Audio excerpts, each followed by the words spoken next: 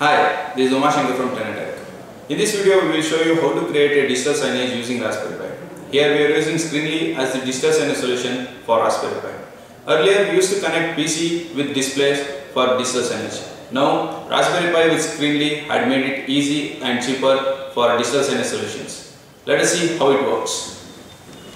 For preparing digital signage display, first we have to install the Screenly package.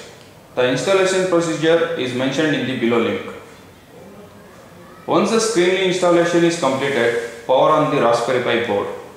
Once the board starts booting, the main Screenly window appears on the display. This is the main Screenly window. This window consists of IP address and port number. By using this IP address on your web browser, you can manage the assets for Screenly. To manage the content of Screenly, use the IP address on the main Screenly window on a different PC browser. Once you type that IP address, you will get the Screenly manage asset. So first we will add an asset. We will give a name to that asset. To include an image, we will use the Dropbox URL. Copy that URL and paste it on the asset. And give resource type as image. Now the image has been added. Now we will schedule the asset. Here we can schedule the image what we have added for what duration it has to display. We are scheduling it for 10 seconds. So it has been scheduled right now. Next we can view the playlist, uh, the assets what we have created and uh, we can edit those assets, those durations, everything here.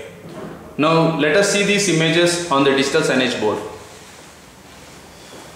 Now I have created three assets of images which will be displayed on the digital signage board. As you can see, three images are displaying right now.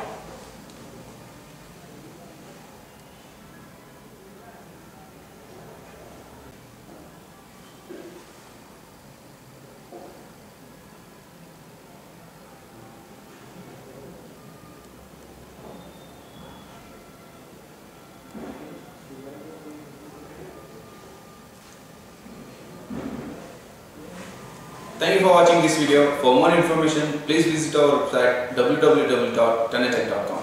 Thank you.